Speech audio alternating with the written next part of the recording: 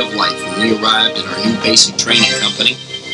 After the few days we spent at the reception battalion, we thought we knew all there was to know about the Army.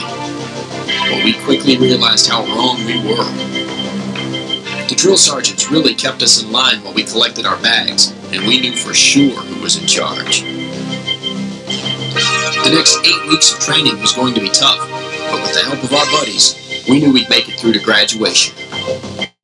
Area was going to be our whole world for the next two months.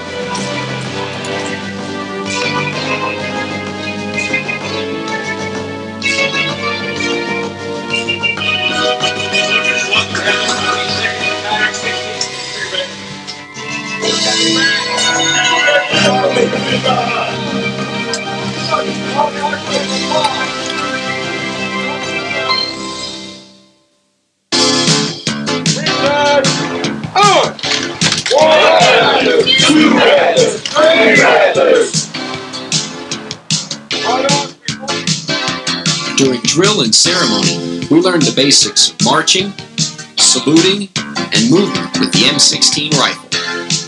This was the first part of our Army training, and we had many hours of practice. We could do right face and left face without even thinking. Learning the rifle movements was more difficult than marching. We practiced column right, column left, and counter columns. We thought we would never make a mistake again. Each platoon was sure they would be the winner of the drill competition.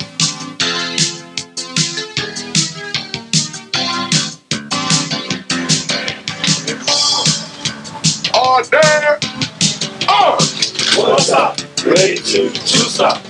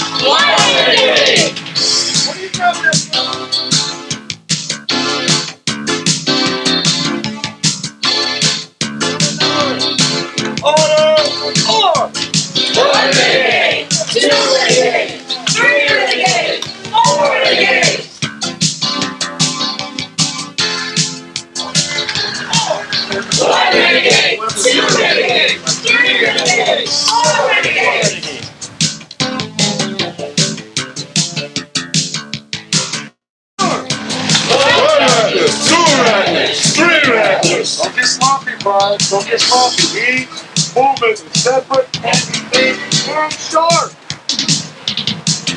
Seven numbers. Order. Order. One reckless, two reckless, three reckless, four reckless. Pump red. Good. Yeah. One reckless, two reckless, three reckless. Wake up. Order. Order.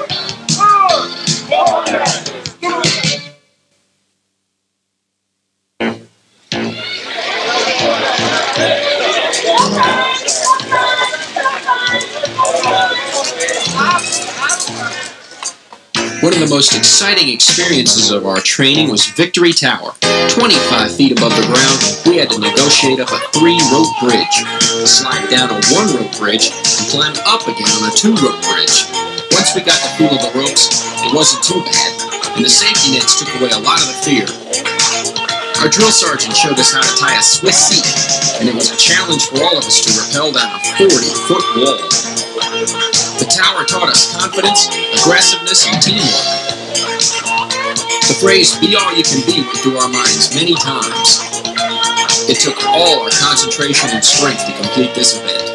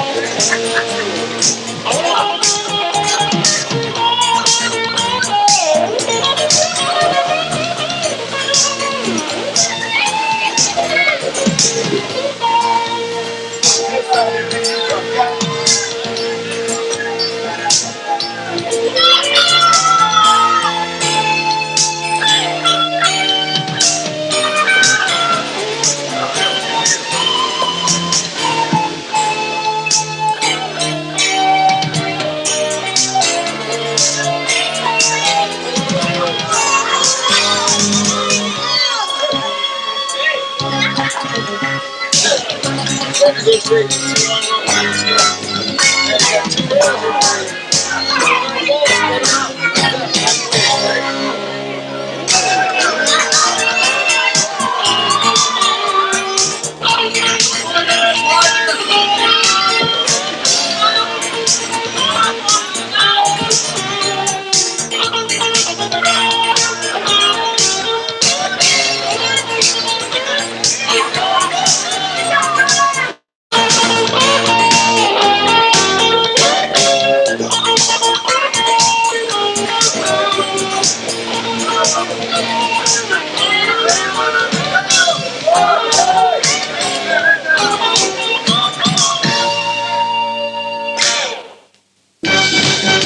Down.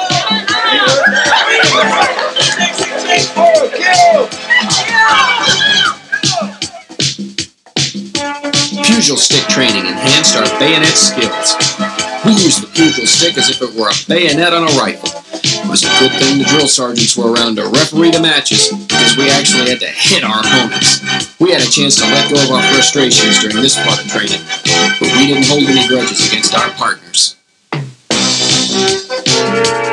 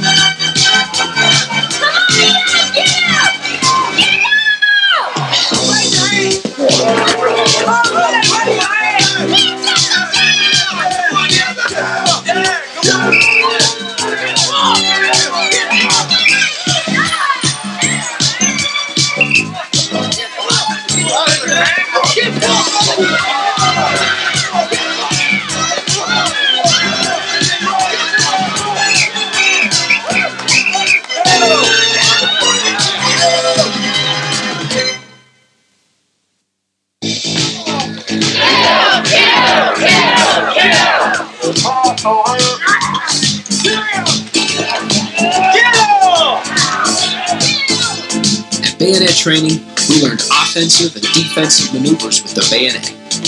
We had to think of the tire dummies as our enemy as we practiced our moves.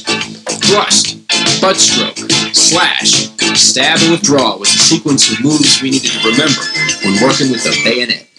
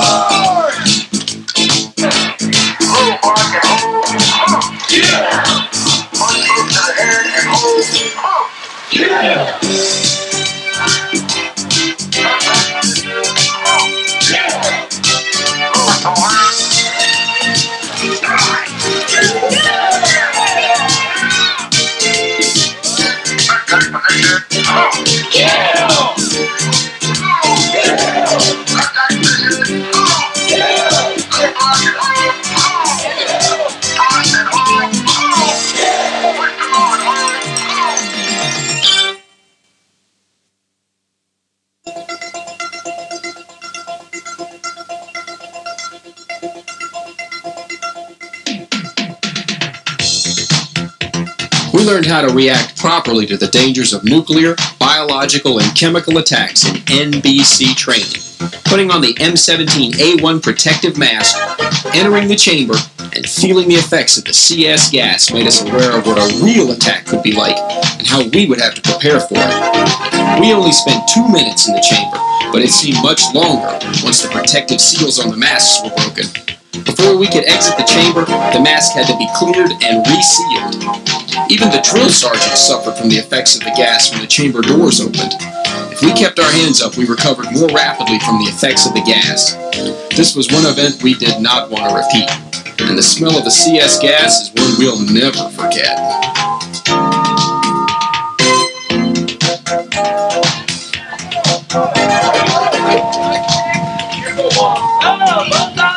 She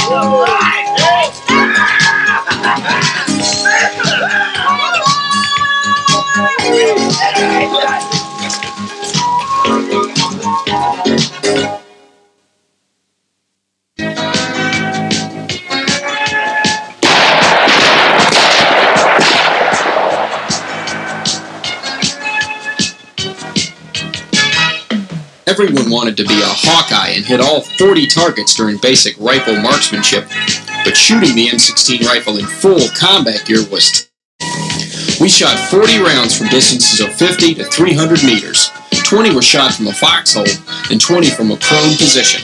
To be classified as an expert, we had to hit between 36 to 40 targets. A sharpshooter hits between 30 and 35 targets. And if 23 to 29 targets were hit, we were a marksman. Relax, aim, center mass, then squeeze the trigger. Those are the terms to remember to be successful. Once the qualification badges were given out, we knew that graduation was getting closer and that each part of the training was important. We now know the value of good marksmanship.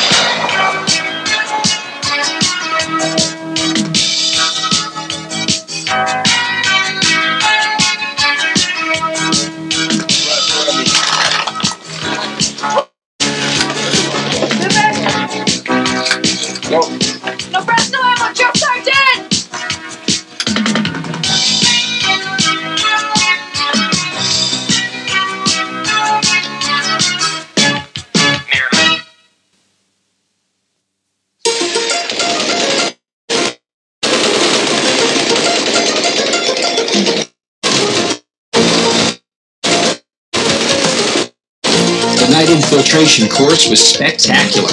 The mission was to maneuver the 200 meter obstacle course with live ammunition going off within five feet of us.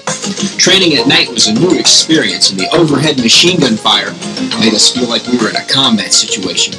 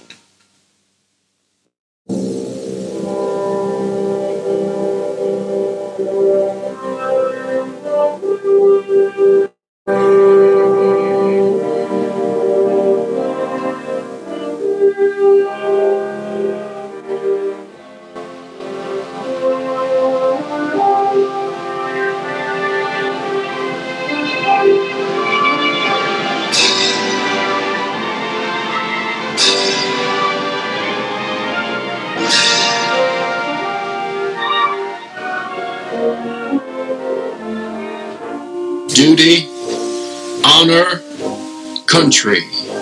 A code of conduct and chivalry of those who guard this beloved land. An ideal so noble that it arouses a sense of pride, and yet humility. An expression of the ethics of the American man at arms.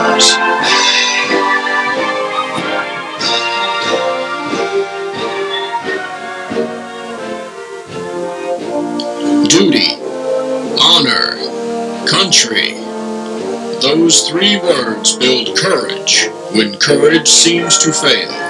Regain faith when there seems to be little cause for faith. Create hope when hope seems forlorn. The American man at arms, above all other people, prays for peace. For he must suffer and bear the deepest wounds and scars of war.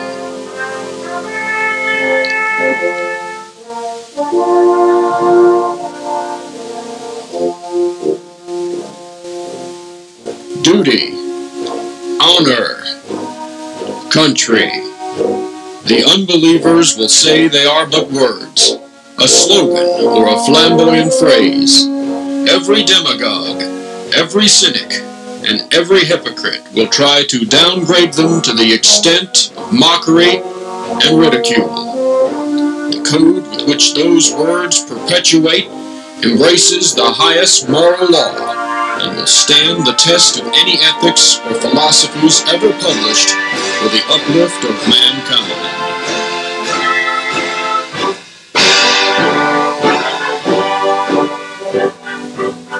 Around a thousand campfires, on a hundred battlefields, listening for the witching melody of faint bugles blowing reveille.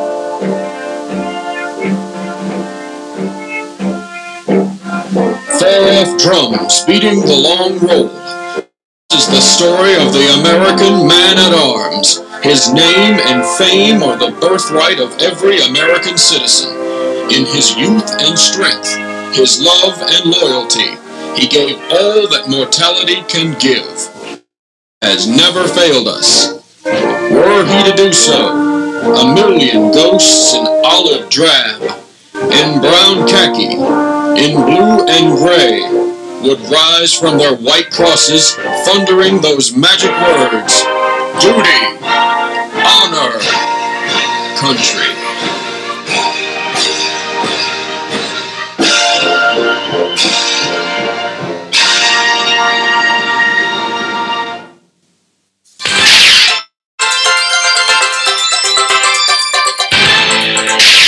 Videorama is part of the Welfare and Recreation Division of Fort Jackson.